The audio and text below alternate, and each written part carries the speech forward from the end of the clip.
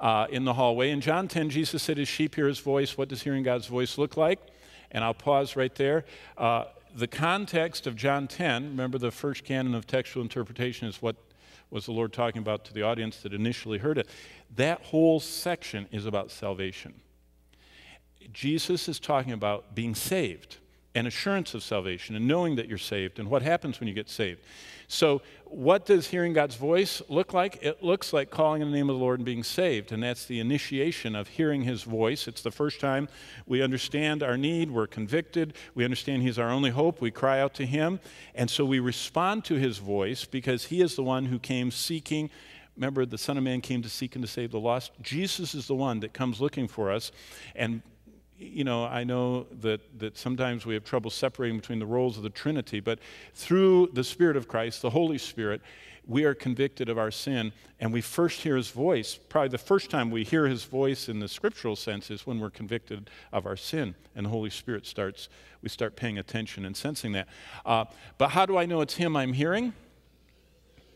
Because He always agrees with His Word and so, if he ever tells you something that's not consistent with the word, you can be sure you're not hearing his voice. In John 10, I already said this, it's about the realm of salvation. John 6 talks about uh, how sheep hear his voice. Romans 8, oh, this is the last one, then we'll go. Aren't you glad that we did the first one? Because we only got to the second one this way. But look at Romans 8 for just a moment. And this is what is so important about knowing the Lord's will. Romans 8, starting verse 14 talks about this realm of the Holy Spirit witnessing to us. And it says, um, For as many as are led by the Spirit of God, these are the sons of God. So salvation introduces me to this following. I'm being led, I'm following, and, and the Spirit of God is, is guiding me. And Verse 15, you didn't receive a spirit of bondage to fear, but the spirit of adoption. We know we're in the family. We have that familial closeness, Abba, Father. Now look at this. The Spirit Himself bears witness with our spirit that we're the children of God. And if children, then heirs, heirs of God, joint heirs with Christ. If we suffer with Him, we will be glorified together. And so this is all talking about what begins at salvation, the assurance that comes of the Spirit. But immediately, what the Apostle Paul said to these early believers is, but you got to start testing all things. And you search and test via the scriptures, not experience, feeling, trees falling in the woods. Why would you take the lesser, which is the possibility of some subjective? The last thing I say about this is uh, it is amazing to think what people are taking upon themselves. If I think that God told me something and I tell you, I'm functioning as a prophet.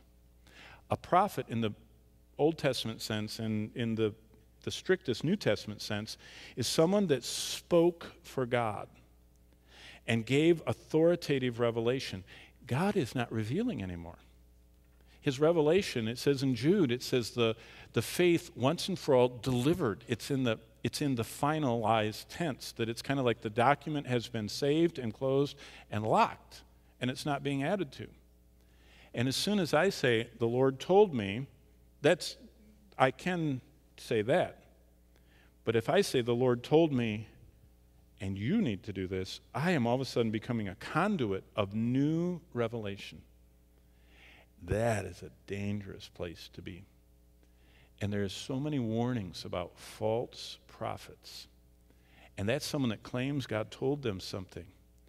And, and the Lord says, You better be careful because if what you say doesn't 100% occur, you're a false prophet. But we'll pick up at two and a half next week. And there's lots more verses coming from three onward. But let's, why don't we stand? You've been sitting so long. We're going into communion.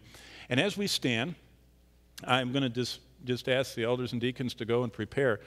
But imagine communion is when we get to come before God. We get to come into His presence. We get to come into His presence. And as we come, the scriptures say that we're supposed to make sure we have clean hands and a pure heart. And only God can give those two. We ask Him to cleanse us of all filthiness of the flesh and spirit.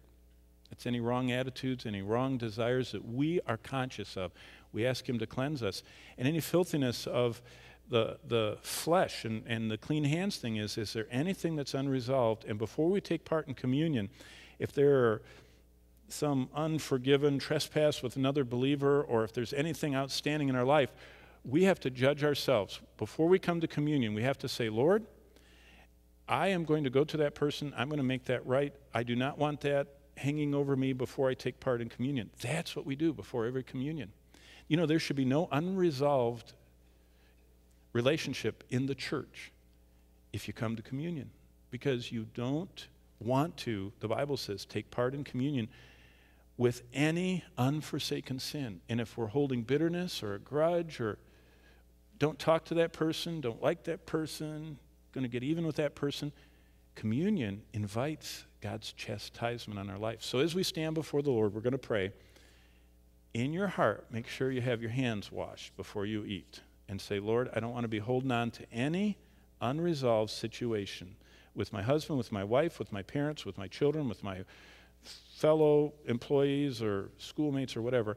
I'm going to have clean hands and I ask you to cleanse my heart because I want to come before you purely to offer worship. This is the highest worship we can offer.